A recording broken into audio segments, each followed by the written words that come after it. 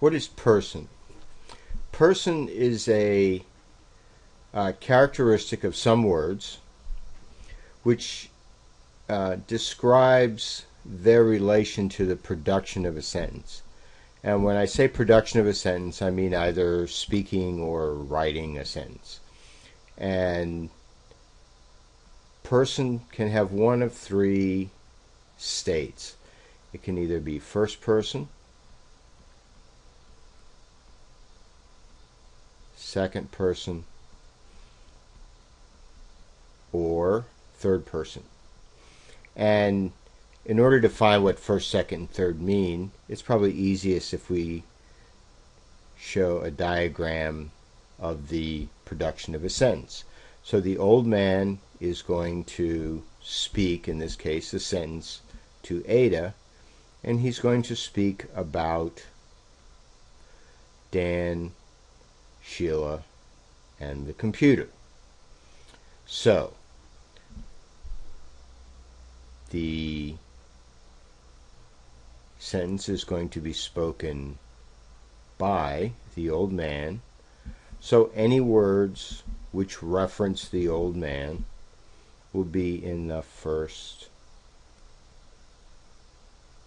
person. Ada is the person being spoken to. So any words which reference Ada will be in the second person.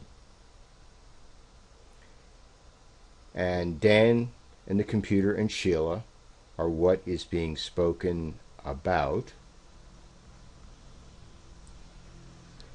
So any words that reference Dan uh, and the computer and Sheila, or individually, will be in the third person. Okay, so first person refers to the person that the sentence is spoken by. Second person refers to the person spoken to. And third person refers to the person spoken about. And the real quick examples are I, you, and he, he, she, and it. Okay? I is first person, you is second person, he, she, and it are all third person words. So, just remember first equals, whoop, first equals by, I was going to write 2, second equals 2, and third equals